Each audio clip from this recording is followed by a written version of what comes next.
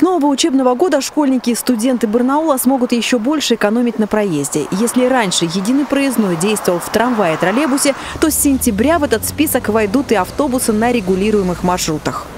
Предоставляя данную льготу, мы, так скажем, уравниваем категорию э, студентов и школьников, которые не только живут в центре, могут воспользоваться, но и в отдаленных поселках нашего города, в отдаленных районах.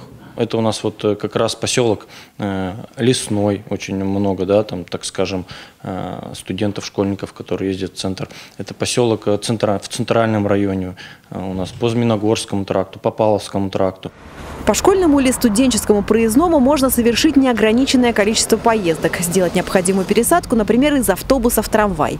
Все это позволит не только увеличить транспортную доступность для жителей пригорода, но и снизить общий транспортный поток на центральных магистралях, что весьма актуально с учетом реконструкции моста на новом рынке. Стоимость проездного не изменилась – 650 рублей для студентов, 550 для школьников, 400 для учеников из малообеспеченных семей.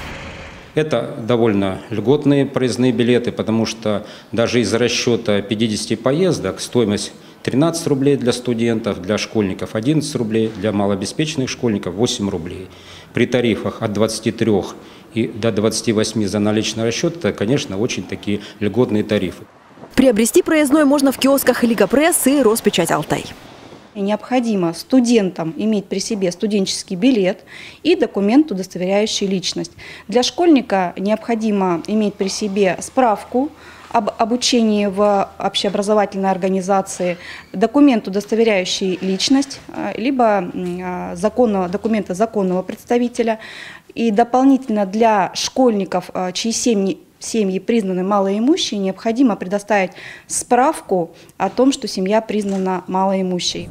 И для этой категории проездные выдают в центр трансе. Ну а если проездной у вас уже есть, обновлять его не нужно, достаточно лишь пополнить баланс. Добавим, что по данным властей в Барнауле почти 86 тысяч школьников и 50 тысяч студентов. Елена Кузовкина, Мария Мацаева. День с толком.